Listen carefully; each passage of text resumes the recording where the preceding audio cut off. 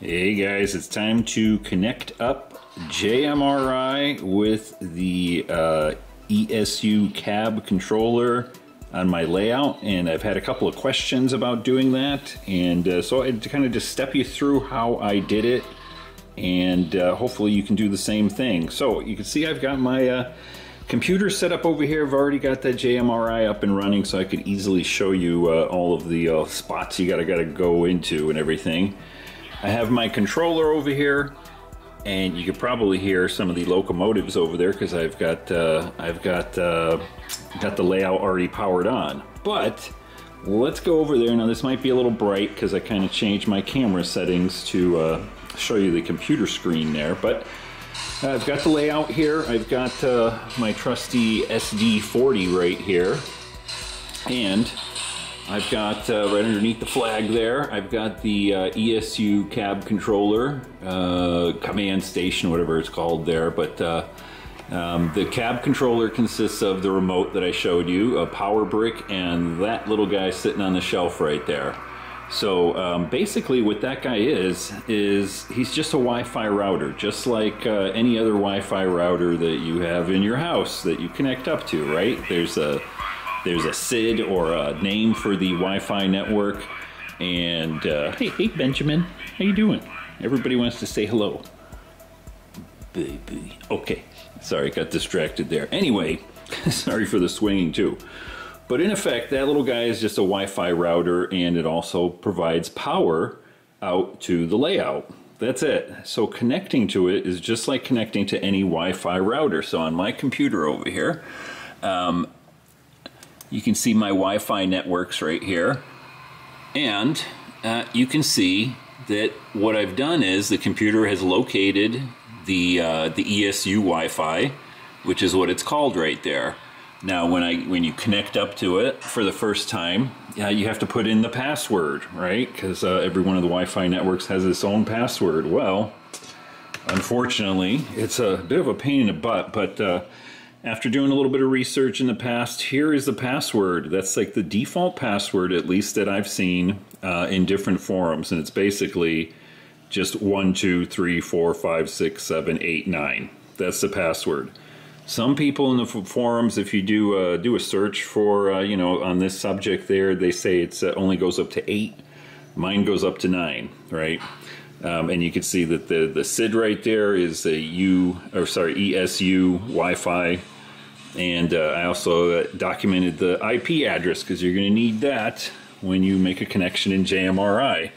Now that should be the default uh, email or email IP address 192 168 65 1 okay um, the way you find that is you go onto your little controller right here hit the three little dots right there go into settings and right at the top it shows you the command station. That's the box that's uh, sitting on top of the shelf over there and there's the IP address so you can double check yours all right? So I'm just gonna exit out of that. And again, I've powered on the track over here using the controller, but I believe you can also do that with the uh, JMRI throttle that I've got right there. But step one, connect your computer to the, uh, the ESU Wi-Fi. And you can see it'll say no internet secured. That means it's connected and obviously you're not getting any internet service when you're connected to that Wi-Fi. Next up, you're going to start Panel Pro and you are going to go to, uh, I believe it is Edit Preferences. And I've already got it opened up over here, so let me go ahead and bring that up. Or maybe I don't. Let's see. Let's go ahead and do it again. Edit Preferences. All right, and this is what you'll get. And again, hopefully it's not uh, too uh, too washed out. But very top on the left hand side you're going to see connections. You're to select connections and you're going to have to make a new connection. Now what I've done is I've gone and I've selected, you got a whole list of stuff right here. You're going to select ESU, right? And then for the system configuration, uh, you're going to select this ECOS, whatever, ECOS via network, right? And um, I believe when you first select it, um, I believe it asks you for the IP address. Yeah, you can see right here. Um, it's telling me for the IP address host name. Uh, now I'm not going to save this, but I put that IP address right there. And then I left the rest uh, sort of default. So the connection prefix U and the connection type, that's already in there, but you put the IP address right there. So hopefully I'm not going to save this because yeah, I'm going to say no because I've already got it set up. And then gets a little funky here. You have to go into Tools, Throttles, and you do a new throttle. And then within the new throttle, I won't go into it here because I've already done it, but basically you just uh, you select uh, a locomotive and you put in the DCC address right here, and that's uh, that's our little SD40 right there. So if I hit uh, F1, you should be able to hear the bell back there, and uh, I can go ahead and start it up. So I just kind of advance the throttle here a little bit. It works with my uh, my roller, and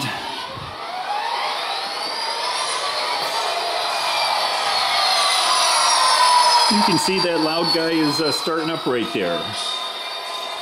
So let's jump back here, uh, just for the heck of it. I'm going to silence him, and you can see that uh, my silence, or I'm going to lower the volume on him, is uh, the F9 function right there. And instead of using that, I'm going to come over here,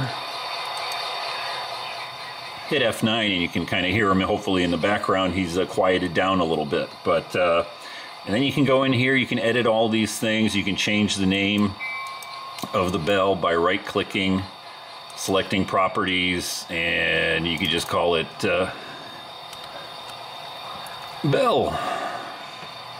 Hit apply and then close, and there you go. Now it says bell. And uh, that's pretty much it. So that's as far as I've gotten. Um, like I said, I can go ahead and control my throttle up here. And I'm just doing it with, uh, with my mouse. And if we swing back over here, you can see he's running on the railroad.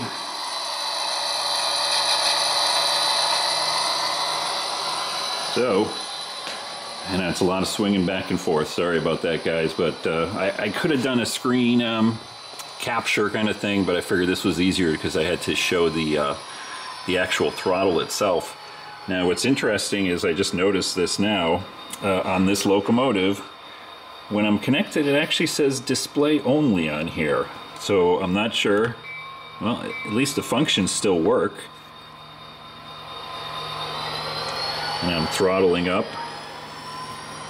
So it still does work, but I can control it with either this or the uh, the JMRI throttle right there.